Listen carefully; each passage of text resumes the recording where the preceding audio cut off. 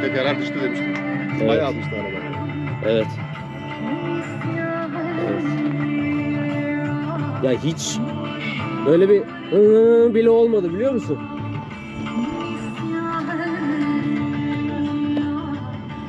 Nereden geldik? Şuradan. Aşağı düştü Biz şuradaydık. Şu yoldan geldik. Araba gözüküyor. Ne bileyim ama kaç saniye sürdü? 15-20 saniye mi? 30 saniye?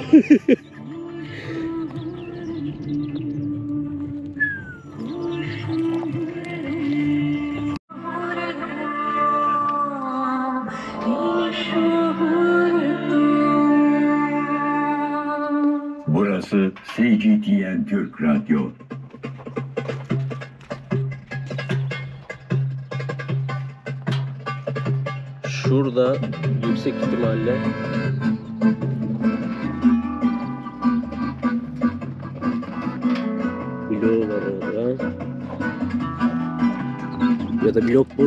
Blok.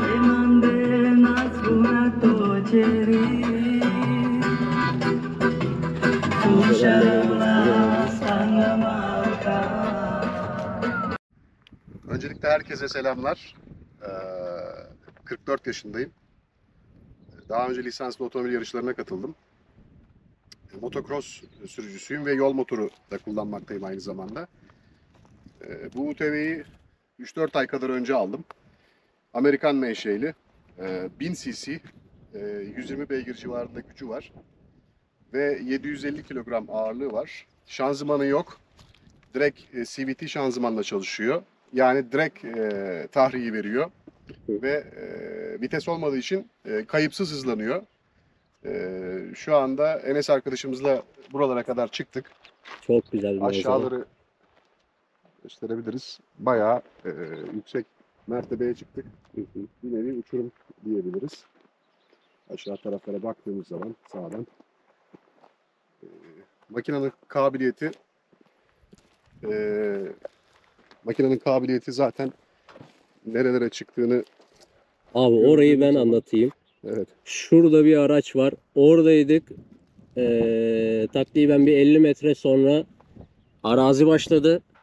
Yani ağzım yüzüm hı hı hı iki zamanlıyı aratmadı ve biz buraya 30 saniye demine çıktık yani. Evet.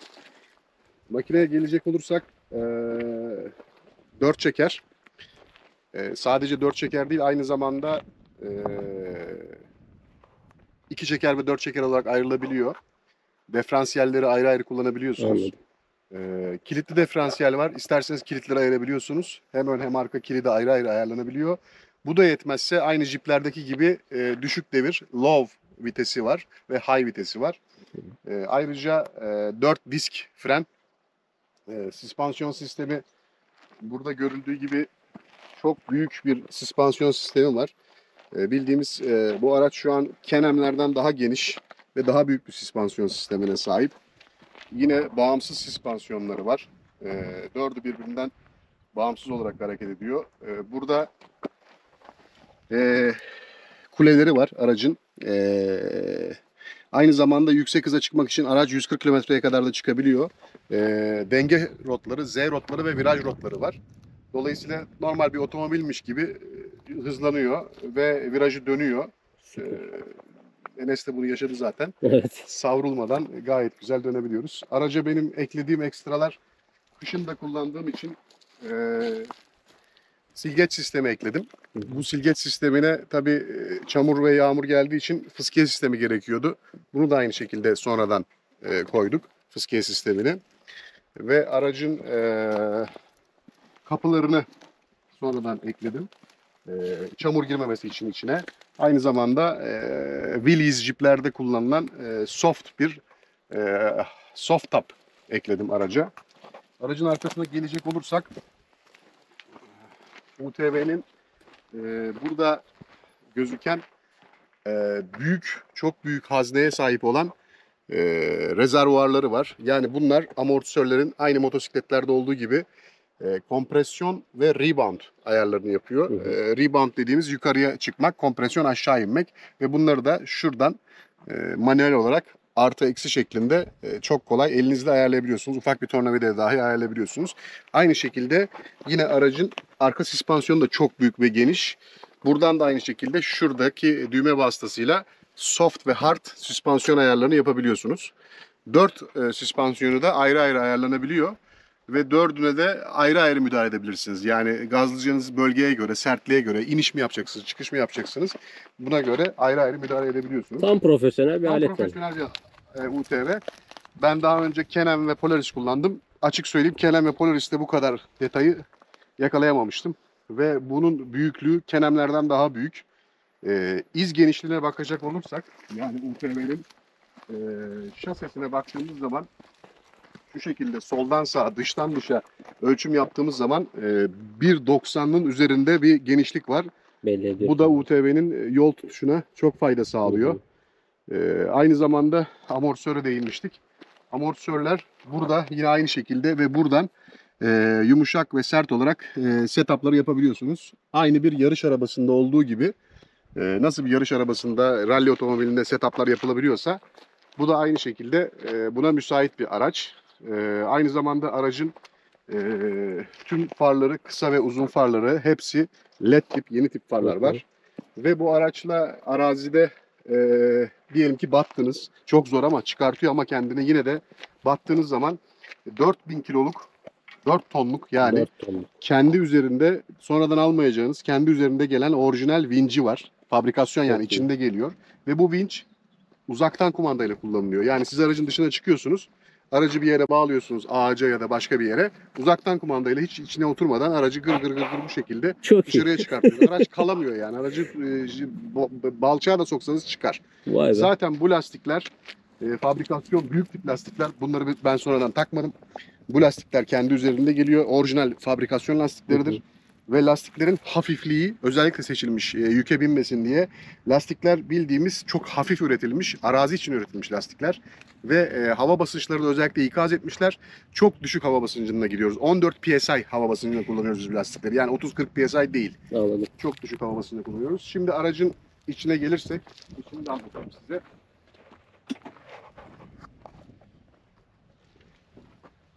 Aracın içinde e, bu şekilde bir start stop özelliği var. E, elektrikli start stop. Buradan e, açılış ekranı, ana ekran geliyor. E, bilmiyorum güneşten ne kadar gözüküyor. E, burada e, EPS denilen Electric Power String anlamına gelen yani direksiyonu hıza göre yumuşatıp sertleştiren otomatik sistemi var. Ee, aynı zamanda kemer ikazı yapıyor. Yağ arızası olduğu zaman hemen yağ ikazı yakıyor. Ee, burada trip metremiz var. Ee, burada motor arıza olduğu zaman motor arıza ışığı yakıyor. Burada saati gösteriyor. Aynı iki zamanlı motosikletlerdeki gibi saati var. 75.2 hours diyor burada yani 75 saatte. Ee, 96 kilometre kullanmışız. Ee, burada e, parkta olduğunu, burada parklarının yandığını, viteslerinin aynı şekilde parkta olduğunu, Araç 10.000 devire çıkıyor bu arada. E, kilometre takometresi burada. E, benzin full, e, fuel denilen kısım ve full benzin. E, burada da hararet yüksekliği ve burada e, arabanın şu anda hangi diferansiyel konumunda olduğunu sağda şurada göreceğiniz hangi diferansiyel konumunda olduğunu mesela değiştirebiliriz. Bakın ses çıktı. Mesela şu anda diferansiyeli ayırdık. İki çekere düşürdük arabayı. Ve bunları böyle Bunları- dijital olarak Evet, hepsini evet, görebiliyorsun. elektrik, elektrikli çalışıyor bunlar. Manuel hiçbir şey yok. Her şey elektrikli olarak çalışıyor. Yine aracın eee, direksiyon eee, simidi de aynı şekilde şuradan şu şekilde isterseniz komple yukarı aşağıya sürücünün boyuna göre ayarlanabiliyor. Eee, araçta korna, eee, silgeç sistemi, ateşleme sistemi ve su fıskiye sistemi e, bu grup burayı ifade ediyor.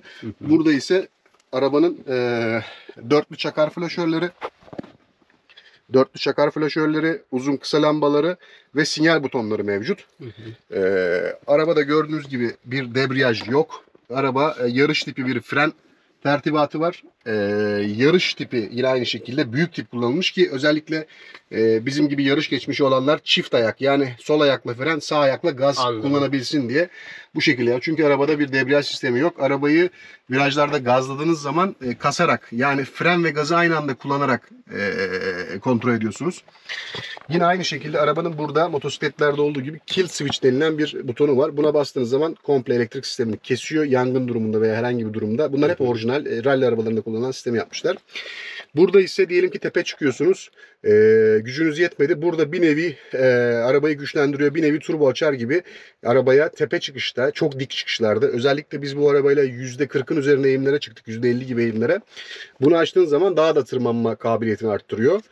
E, burada da yine arabanın e, elektrikli bir e, güçlendirme sistemi olan e, ekonomi aynı motosikletlerdeki gibi sport ve ekonomi modları var. Ekonomi modunda daha az yakıyor. Sport modda gaz tepkisi yükseliyor. Anladım. E, elektronik gaz kolu var çünkü araçta. E, yine şanzımana gelirsek Evet, e, arabanın şanzıman e, kısımlarını anlatıyordum. E, burada gördüğünüz gibi L, H, N, R, P e, şey vitesleri ve ayrımları var.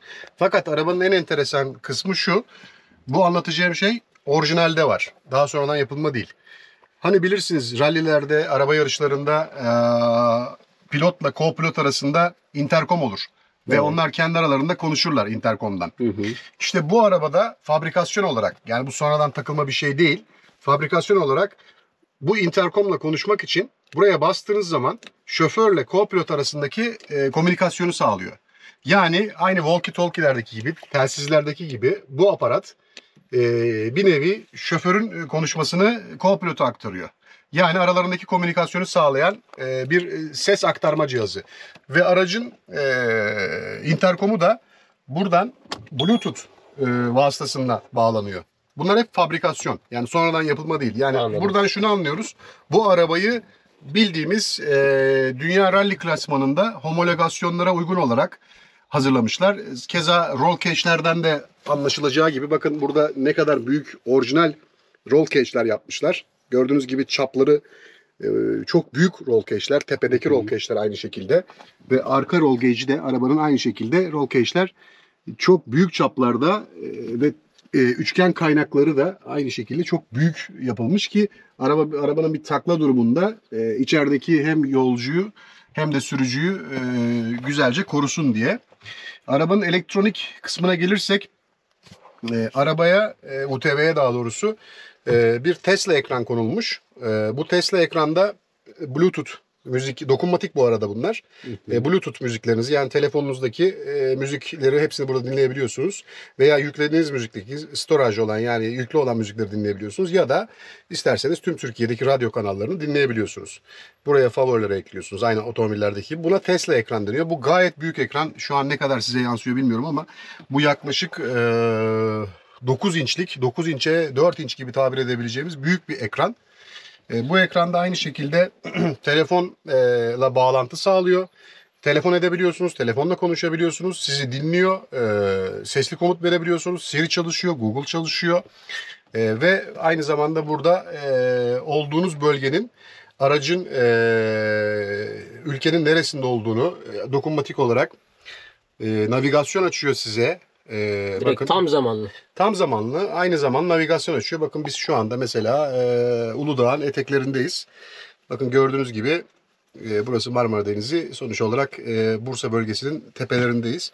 Olduğumuz yerin navigasyonu açıyor e, ve e, kaç kilometre hızla gittiğimizi eğer Amerika'daysak mil olarak veriyor ve ne kadar zamandır aracı kullandığımızı ve aracın resmini de göstererek e, buraya bir e, sistem kurmuşlar. Aynı zamanda bu kilometre burada da gösteriyor. E, burada da e, bunu daytime, nighttime veya satellite map olarak e, kullanabiliyorsunuz. Burada da aynı şekilde ayarlar yapabiliyorsunuz. Çok iyi. Choose the range. Burada bu arada diyelim ki siz e, internet çekmeyen bir yerdesiniz. Daha önce yüklediğiniz haritayı bunun içine atıyorsunuz. İnternet çekmese dahi dağların içinde, arazide bu sizi offline map olarak istediğiniz yere götürüyor. Süper. Şimdi diğer özelliklerine gelelim. Bu özellik ise real time e, situation ya da simulation diye de geçer. Arabanın e, öne veya arkaya ne kadar eğimli olduğu, sağa ve sola ne kadar yüzde eğimli olduğunu anlatıyor. O anki motor power yani kilowatt cinsinden ne kadar e, kahvada olduğunuzu anlatıyor. Speed olarak yine aynı şekilde hız cinsinden kaç kilometre hızla gittiğinizi, akselerasyon olarak e, ve Newton metre olarak tork değerlerini gaza bastığınız zaman anlatıyor. Anlık da gösteriyor. Yani. Anlık da gösteriyor. Burada da aynı şekilde frene bastığınızı e, ve bir takım işte torklar, average speed dediğimiz yani yarış arabalarında, rally arabalarında ne varsa elektrik elektronik olarak bu arabaya yüklemişler. Diğer kısma geldiğimiz zaman sistem settings dediğimiz zaman da burada e, language, dil seçeneklerimiz var. Brightness, e, sounds, time, compass ve factory reset gibi e, aracın e, setupları var. E, burada da Bluetooth e, dediğimiz gibi hem e, araba telefona e, benim kullandığım telefon iPhone bunu otomatik olarak bağlıyor. E, kim arıyorsa ekranda gösteriyor ve iPhone'dan tüm müzikleri, e, radyoyu ya da işte mapleri buradan görebiliyoruz. Aynı zamanda Bluetooth headset diye bir şeyimiz var. Bu da araçta müzik sistemini kablosuz olarak e, bağlanıyor. Mesela ben şu anda bu arabaya Sony'nin e, bir müzik e, sistemini kurdum ve bu müzik sistemi kablosuz çalışıyor. Evet. Buradaki Bluetooth'tan e, sinyalizasyonu görüyor ve hertz olarak bunu yakalıyor ve birbirine uyuşuyor ve arabada kablosuz olarak biz müzik dinle- dinleyebiliyoruz bu imkan sayesinde. Evet. Arabanın e, iç elektronik e, kısmı bu bu şekilde. Aynı zamanda e, ön amortisör sistemini de buradan ayarlayabileceğimizi daha önce söylemiştim. Hı hı. Ee, arabaya benim daha sonradan koyduğum şeylerden biri de e, silgeç sistemi ve tam cam sistemi. Çünkü ben arabayı e, bu cam özellikle kırıldığı zaman e, patlamasın diye bunlar e, soft olarak kullanılıyor. Yani bildiğimiz orijinal cam değil aslında. Bir kaza durumunda veya takla durumunda e, içerideki yolcunun e, tehlikeye girmemesi için bu tip özel camlar üretiliyor ve ben onlar, onlardan yaptırdım. E, arabada dediğim gibi e, camın haricinde e, silgeç sistemi ve fıskiye sistemi de mevcut. Süper. E, aynı zamanda buradan da yine e, Bluetooth e, sistemlerinizi ya da işte elektrik sistemlerinizi besleyecek elektrik tertibatı var. Burada bir e, e, derin bir gözü var. Yaklaşık burası 10 litrelik bir göz. Tüm e, eşyalarınızı, ruhsatınızı, işte gerekli şeylerinizi buraya koyabilirsiniz. Bu arada bu UTV e, diğer UTV'lerden en büyük avantajı farkı bu UTV'de plaka var. Yani bu Segway UTV'ler Türkiye'ye plakalı olarak geliyor. Dolayısıyla ben daha önce Polaris, Kenem gibi UTV'ler kullanmıştım. Ee, bunlarda plaka yoktu. Dolayısıyla bizim için risk oluşturuyordu. Bu UTV'yi özellikle almamın sebebi Polaris ve Kenem kullandıktan sonra bana daha güzel ve daha e, büyük geldi. Süspansiyonlarını test ettim. Açıkçası e, bir Kenem'den daha iyi süspansiyon olduğunu gördüm. Ee, ve arazide bunu yaklaşık 4 aydır tecrübe ediyorum. E, hard offroad yapıyoruz. Ee, ve yine de e, bir Kenem'den hiçbir farkı yok. Hatta yer yer daha büyük, daha geniş ve daha uzun kolları ve maşaları olduğu için daha iyi süspansiyon yapıyor diyebilirim. Ee, aynı zamanda Koltukları e, da çok güzel. Koltuklara gelirsek yine aynı şekilde yarış tipi e, Recaro tip koltukları var. Bunu fabrika kendisi orijinal yapmış. Sonradan koyulma değil hiçbir şekilde. E, bu koltuklar çok noktalı kemerlerle bağlanıyor. Aynı zamanda sürücü tarafındaki koltuklarda sürücü sürücü koltuktan ayrıldığı zaman burada aynı deniz motorlarında e, jet skilerde olduğu gibi Hı hı. araba, arabanın e, elektriğini kesmesi için bir sistem daha yapmışlar. Çok iyi E, düşünülmüş. ara- arabanın elektriğini tamamen kesiyor ve araba ilerlemiyor, duruyor. Anladım. Elektriğini kesiyor. E, burada da arabanın e, motor kısmına emme manifolduna hava almasını sağlana, sağlayan ram air tabir edilen e, emme manifold sistemi var.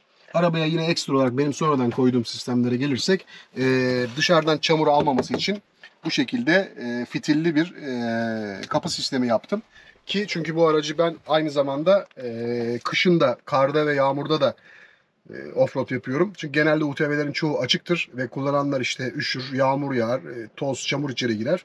Ben bu sistemi yaptım ve e, cam sistemi koymadığımız için soft bir e, Willys jiplerdeki gibi e, soft bir e, e, vinil sistemle Evet. yan camlarını ve arka camı bu şekilde e, kapamış olduk. Çok iyi olmuş abi. Evet, aracımız bu kadar. Ellerine sağlık. Herkese sevgiler, selamlar. Saygılar. Ben bir çekeyim. Düşürdüm. Daha arazide maceramız devam edecek.